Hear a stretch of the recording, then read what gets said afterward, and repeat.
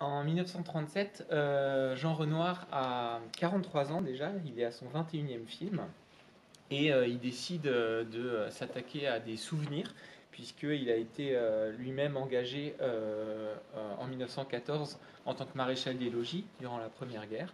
Et il a eu l'occasion de croiser une personne qui lui a sauvé la vie face aux avions allemands, et qui est le général Pinsard. Et euh, il s'avère qu'en 1934, sur un tournage, un peu par hasard, il retombe sur lui et euh, euh, il, entend raconter son récit de captivité chez les Allemands et son évasion. Et il décide donc d'en faire un scénario avec Charles Spack, un scénariste belge avec lequel il va travailler à, plusieurs reprises. Euh, il, travaille sur plusieurs versions et euh, il commence à creuser cette idée d'une relation entre euh, les Allemands et les Français et principalement au départ un récit d'évasion. Le, scénario commence à s'étoffer et ils vont aussi probablement aller s'inspirer du côté d'un roman qui sort en 1931 qui s'appelle Tendre Allemagne de Jean Desvillières et qui, euh, qui a beaucoup de coïncidences avec euh, le, résultat final du scénario. D'ailleurs, euh, Jean Desvillières les attaquera pour plagiat, mais il perdra le procès, mais on est à peu près sûr qu'il y a eu un, arrangement financier. Donc il y a plusieurs sources d'inspiration. Le film est très dur en fait à monter pour, Renoir, qui n'a pas du tout la renommée. Hein. C'est après celui-ci après aura vraiment la, célébrité qu'on connaît. Et euh, il explique d'ailleurs qu'il aurait pu faire un film sur le financement de la grande illusion, tellement ça a été euh, une euh, conquête difficile. à un moment, d'ailleurs, il, il, discute avec son scénariste qui est en train de travailler avec Duvivier sur un autre projet de film qui s'appelle La Belle Équipe. Et Renoir trouve le projet très intéressant. Renoir qui a fait pas mal de films sur le Front populaire. Et, et La Belle Équipe, c'est vraiment un film qui, parle de ça. Et euh, il propose à Jean Duvivier, par l'entremise de Spack, d'échanger les scénarios et, euh, et, de récupérer la belle équipe et de se débarrasser de la grande illusion qu'il n'arrive pas à financer. Et euh, Duvivier lui aurait répondu qu'il n'est absolument pas intéressé et que les films de poilu, tout le monde s'en fiche et que ça marchera de toute façon jamais.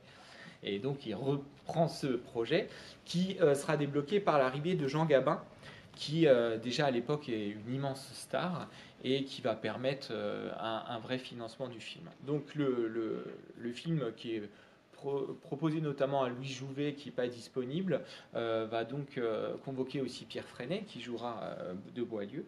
Et le tournage est sur le point de commencer et un producteur décide d'embarquer dans l'aventure Erich von Stroheim, donc l'acteur et réalisateur allemand, qui est euh, à ce moment-là euh, en perte euh, vraiment de vitesse à Hollywood où ses excès l'ont vraiment blacklisté et qui est totalement inconnu en France. Et lorsqu'il arrive donc sur, sur le plateau et, dans, dans, l'équipe, Renoir est absolument atterré parce qu'il va se retrouver avec un rôle, il aura deux scènes et quatre répliques. Et il décide de réécrire une grande partie du scénario pour cet homme pour lequel il a une immense admiration et il veut à tout prix lui donner un rôle à sa mesure. Donc il va y avoir un grand travail de réécriture spécifiquement pour, euh, pour l'acteur lui-même. Le, euh, le, tournage est euh, un tournage qui se passe assez facilement. tous les intérieurs sont tournés dans des, dans des studios français. Hein, studio Éclair à Épinay ou le studio de Billancourt. Et pour les extérieurs, on va principalement aller en Alsace avec euh, les casernes à Neuf-Brisac, à Colmar, les hauteurs de Fréland, et puis euh, le fameux château du Haut-Königsbourg, hein, qu'on voit euh, souvent tout, les, les, toutes les forteresses. Et, et pour le dernier plan, qui se passe à Chamonix, en fait, les deux comédiens sont déjà partis sur d'autres tournages, et c'est des doublures donc, qui s'occupent de, de, marcher dans la neige pour, pour cet ultime plan. le film sort et c'est un succès immédiat en France. Euh, un gigantesque succès qui bat à peu près tous les records de l'année 1937, mais pas seulement. Après la première, Omar Ivo, il est, il est, euh, diffusées en boucle sur les salles parisiennes, des séances de 10h du matin à 2h du matin qui sont complètes en continu. Donc ça va être un, immense succès. et il va être diffusé aussi aux États-Unis où il va rencontrer une très grande audience notamment grâce à Roosevelt qui le voit et qui dit que tous les démocrates du monde devraient voir ce film. Et il va rester euh, de très nombreuses semaines à l'affiche euh, à New York et devenir un film très important dans la culture américaine qui, euh, parmi les rares films étrangers qu'elle cite comme étant extrêmement important dans l'histoire du 7e art, accorde une place très particulière à La Grande Illusion. Il est d'ailleurs hein, archivé au MoMA. Et il est nommé cette année-là euh, dans la catégorie de meilleur film aux Oscars et non pas meilleur film étranger, ce qui est euh, vraiment rarissime. Pour ce qui est de la sortie européenne, c'est un petit peu plus compliqué, on l'imagine, puisqu'en 1937, euh, Hitler est déjà extrêmement important. Goebbels, donc chef de la propagande, considère dès, dès, la première projection du film ennemi cinématographique numéro 1.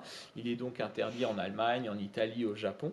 Et euh, la suite de la carrière du film va être assez particulière du fait même justement des temps troublés qu'elle annonce d'ailleurs à l'intérieur même du récit. Euh, puisque durant l'occupation, le film est interdit, puisqu'on le considère comme étant pacifiste, et évidemment, il donne une image euh, centrale à un juif qui, bien entendu, va poser problème au Troisième Reich. Et le problème, c'est que le film va aussi être mal perçu à la libération. puisque à la libération, on va reprocher des choses qu'on avait considérées extraordinaires à la sortie. À la sortie, j'ai oublié de dire, la presse française est unanime pour saluer le film, et c'est l'un des rares exemples où euh, la presse de droite, assez dure comme la presse communiste, euh, salue euh, vraiment de façon euh, très diversifié, évidemment, les idéologies du film. Hein, certains y voient un patriotisme exacerbé euh, qui valorise la nation française, et d'autres un humanisme qui, évidemment, transcende toutes les idées euh, politiques et propose un message beaucoup plus universel. Et donc, à la libération, il va y avoir de, de vrais problèmes de réception du film.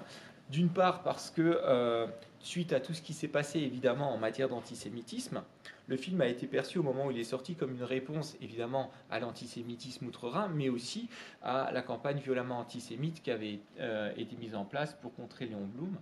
Et euh, là, euh, il y a une autre lecture qui se fait où on, fait remarquer que le juif reste le juif et que le film peut être sur certains points taxé d'antisémitisme ou de banalisation de l'antisémitisme du français moyen, comme on peut le voir hein, dans, certaines répliques euh, spontanées du personnage de Jean Gabin. de la même manière, on apprécie assez peu toute l'amitié franco-allemande qui peut être véhiculée dans le film et on le voit comme étant une espèce d'annonce euh, de ce que sera euh, le régime de Vichy ou la collaboration. Donc ça va un peu dans, tous les sens, et le film, pendant assez longtemps, du fait même de euh, la manière dont il capte toutes les tensions d'une époque, va être diversement apprécié. Il va falloir attendre une réédition en 58, et notamment grâce au cinéaste de la Nouvelle Vague, François Truffaut en tête.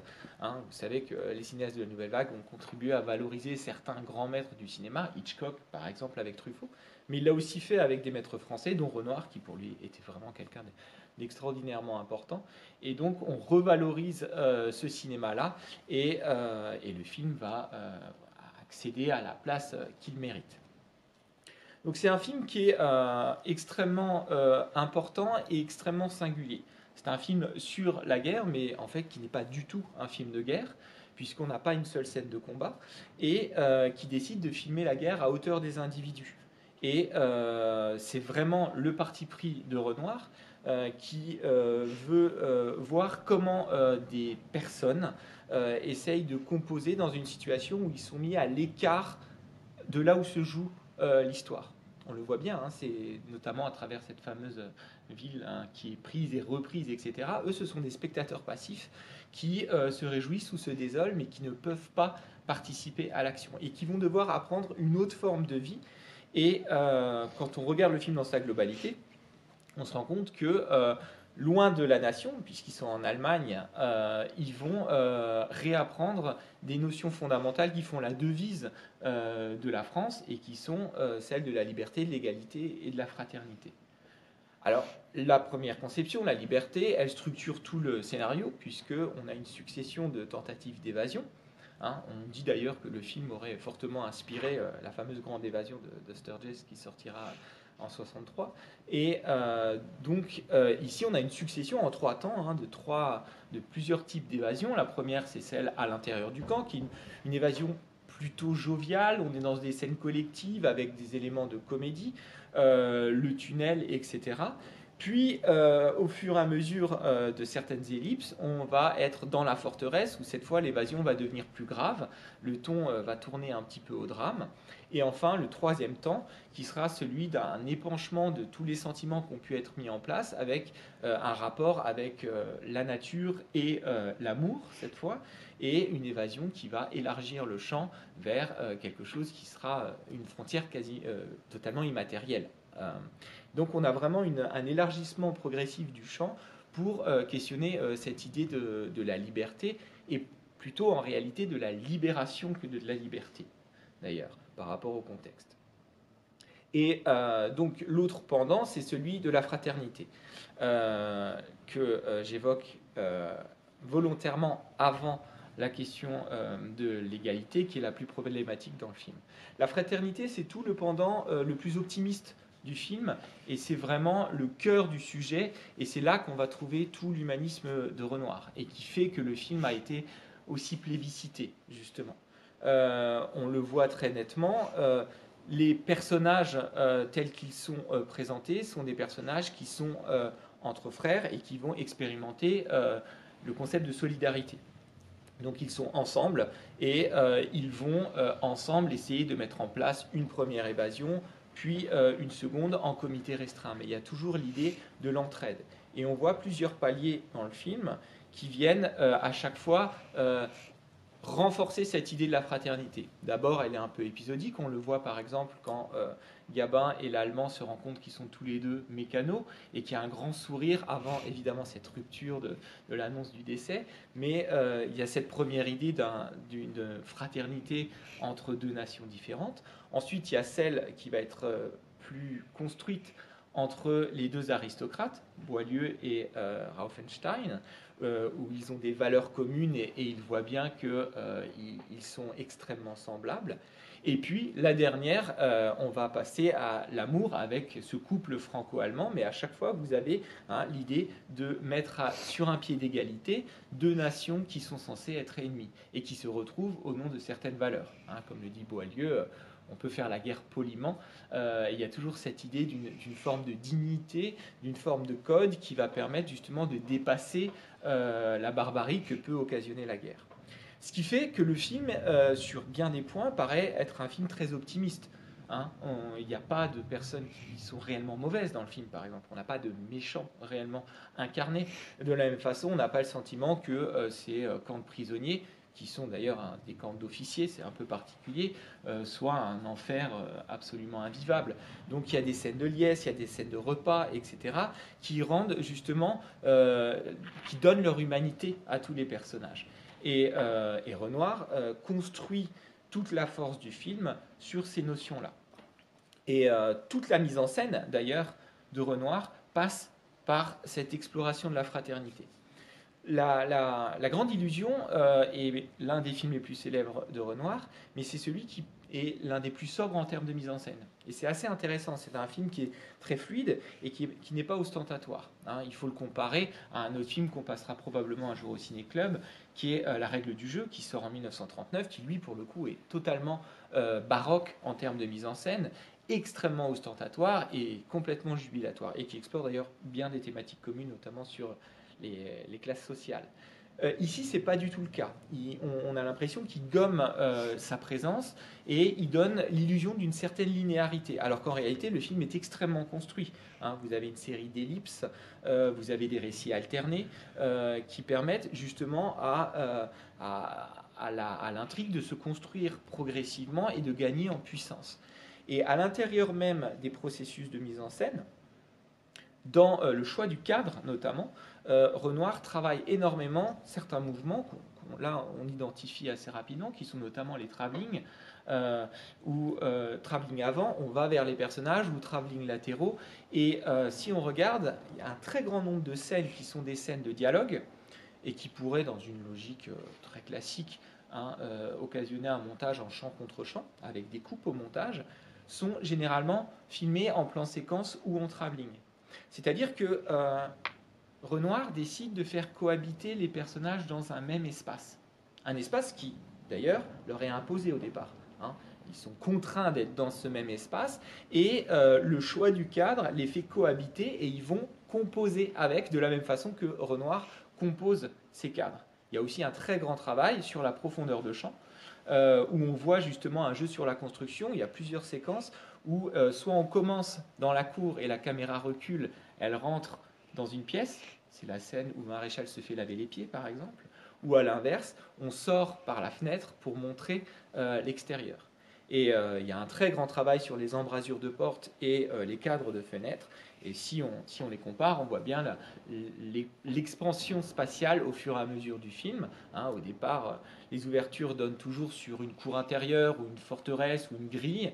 Et puis, dans, vous avez ce très beau plan final enfin sur la séquence de fin, où on voit la caméra qui rentre dans le cadre, et puis c'est la nature qui occupe cette fois intégralement l'espace qui est vraiment un synonyme de cette libération euh, des, deux protagonistes. Donc euh, tout le fond du film, cette, euh, conviction profonde qu'a Renoir de la possible fraternité des gens, même en temps de guerre, se retrouve dans la forme et dans la manière dont il met en scène son film. Mais on ne peut pas s'arrêter à cet enthousiasme-là sans justement questionner le dernier concept qui est celui euh, de euh, l'égalité. Et l'égalité qui, qui a posé avec un, grand point d'interrogation. L'égalité, dès le départ, elle est, postulée hein, dans plusieurs scènes, et notamment des scènes de repas. Le thème de la nourriture traverse tout le film, et montre aussi une véritable égalité entre les, personnes.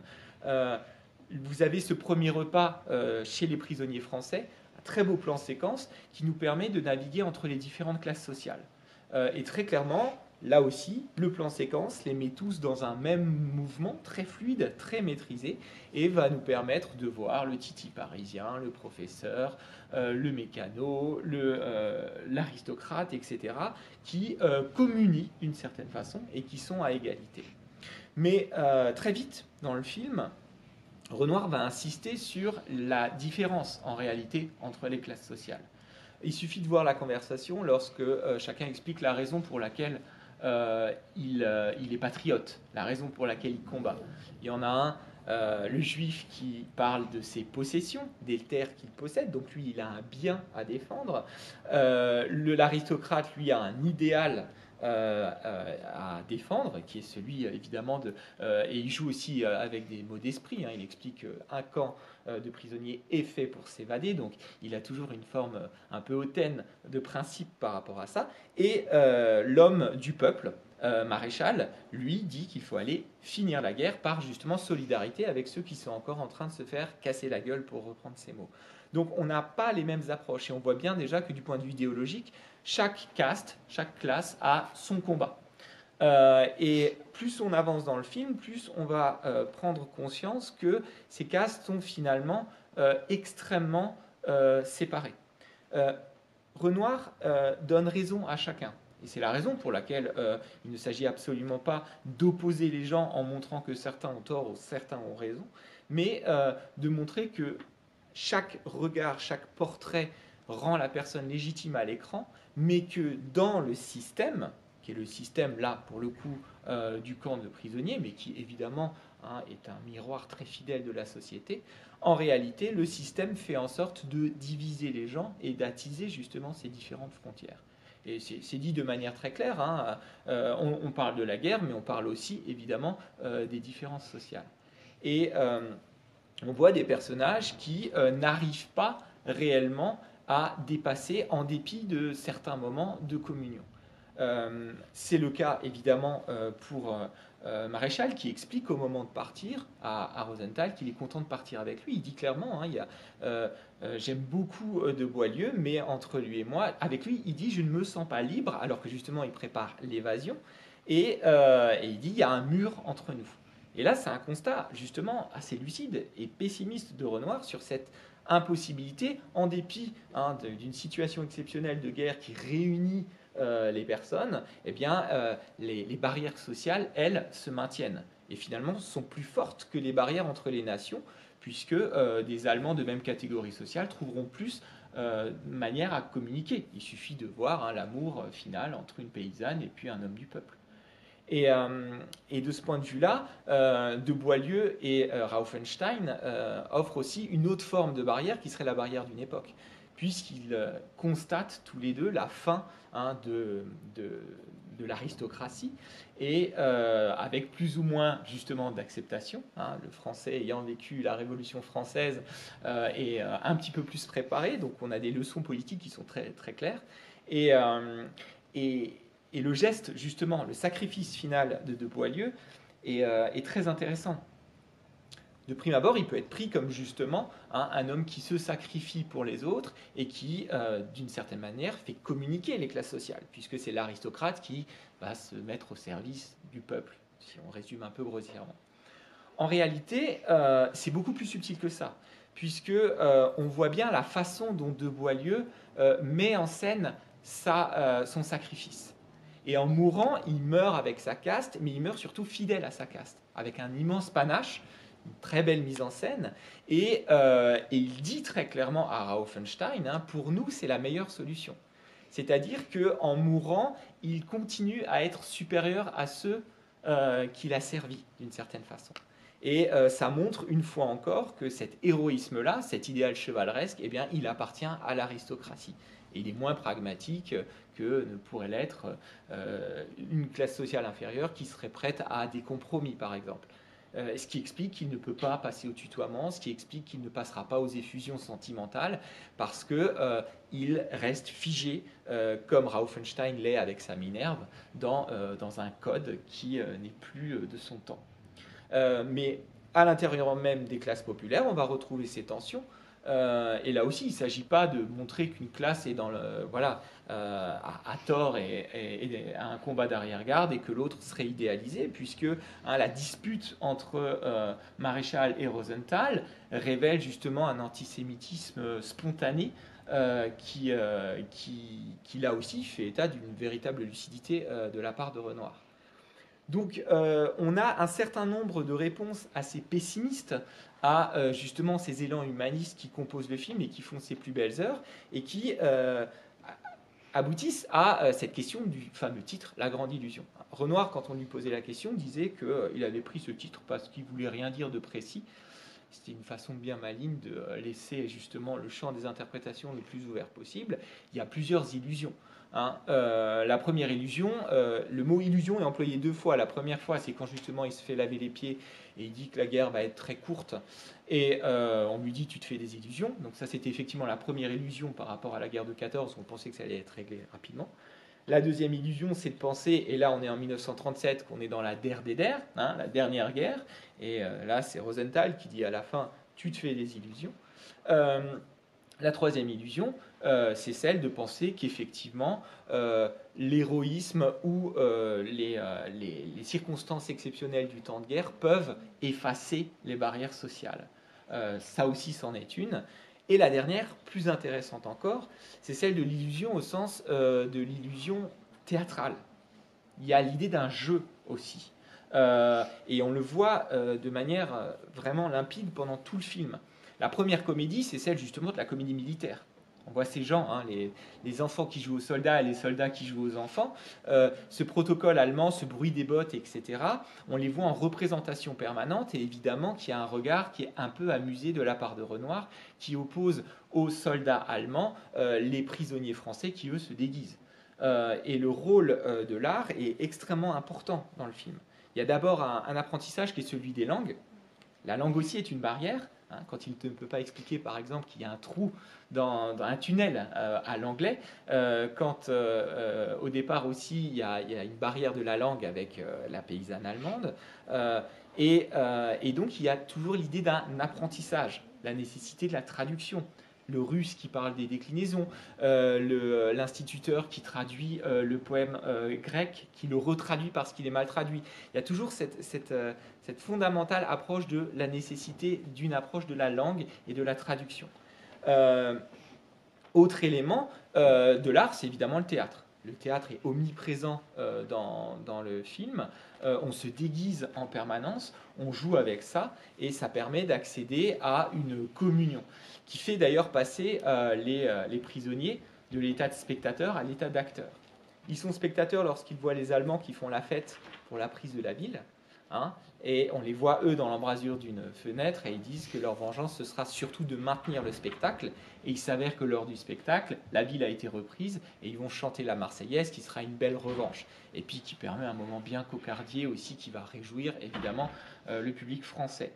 Euh, mais ça va, ça va plus loin que ça, puisque euh, toutes les approches par l'art permettent évidemment quelque chose qui va universaliser. Le premier plan d'ouverture du film, c'est un disque, hein, et la musique est un élément qui, très souvent justement permet un, langage qui serait un langage pour le coup universel, qui passerait par la mélodie et pas par des mots à comprendre. Et, euh, c'est évidemment la thématique du divertissement et de la, diversion. Le divertissement théâtral amuse, permet de faire oublier l'horreur de la guerre, mais c'est aussi, on, dit à un des personnages, oui, tu veux euh, t'évader pour te divertir. Et là, l'évasion, c'est s'évader dans l'esprit comme s'évader euh, matériellement. Et euh, de la même façon, euh, De Boileau, à la fin, joue du fifre pour faire cette fois une diversion, à partir du divertissement.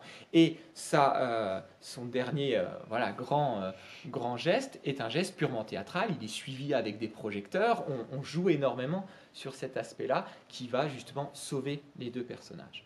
Et euh, cet apprentissage va se faire aussi par rapport aux choses justement les plus simples par l'entremise de l'art. On le voit notamment hein, dans le, euh, quand, ils, sont face au,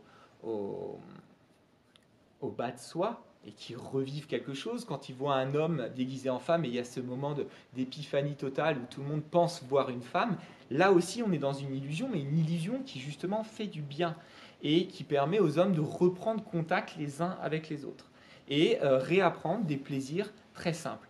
C'est pour ça que toute la partie finale, avec ses travaux dans les champs, etc., ce dialogue assez amusant de Gabin avec euh, la vache, euh, montre une volonté de revenir à des éléments les plus simples possibles qui, évidemment, permettent de revenir à la réalité. puisque la réalité, c'est la vie civile, une vie civile qui justement offre un, écho assez dramatique. Hein. On avait la tablée avec ce plan séquence où tout le monde communique, et puis la table trop grande dans la maison avec les morts de la guerre, hein, qui est justement la réalité euh, de ce qu'est la guerre. C'est aussi évidemment les décès, que ce soit d'un côté comme de l'autre du Rhin. Et, euh, donc cet apprentissage des choses simples, hein, quand elle apprend à dire le café est prêt en français, on, aboutit à une volonté euh, de simplement communier face aux choses les plus universelles. Le réel moment unique de souffrance dans le film, c'est celui où Maréchal est à l'isolement, au cachot. Et il dit en réalité, je veux qu'on me parle. Et euh, je pense que dans cette phrase, euh, très clairement, Renoir définit tout le programme du film. C'est clairement un appel au dialogue et, euh, et à l'idée que malgré les inégalités sociales, malgré le fait que la guerre a existé et va probablement revenir, Hein, il y a des parallèles qu'on peut faire évidemment avec la littérature. Vous avez La guerre de Troie n'aura pas lieu de Giraudoux en 1935, mais vous avez aussi ce très beau texte, euh, Le silence de la mer de Vercors, dans lequel un officier allemand occupe euh, euh, une, ferme française et dit qu'en gros, ils, vont pouvoir faire une synthèse extrêmement idéaliste entre la littérature française et la musique allemande et que ça va être magnifique.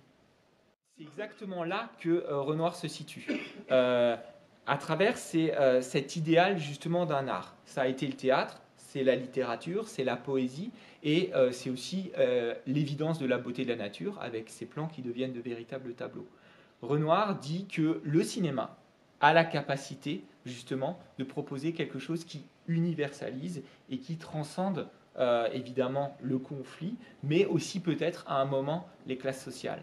Parce qu'il a réussi à faire un film qui parle au plus grand nombre, par les émotions évidentes qu'il dégage, et qui, justement, idéologiquement, propose aussi quelque chose de très construit qui va bien au-delà d'un simple divertissement. Un art qui soit donc à la fois populaire et en même temps exigeant, tant dans sa mise en scène que dans son écriture. Et c'est la raison probable pour laquelle le film a réussi à traverser euh, les époques. Et en dépit hein, euh, d'être un cinéma un peu jeune, avec un rythme que euh, on connaît moins, avec un jeu qui peut paraître plus théâtral qu'il ne l'est encore aujourd'hui, on est dix ans après l'avènement du cinéma parlant, donc il y a forcément des éléments qui, qui nous paraissent datés aujourd'hui, mais c'est un film qui justement par sa profonde conviction traverse clairement les époques et euh, atteint l'universalité qui défend comme étant une valeur qui permettrait éventuellement de réconcilier les hommes.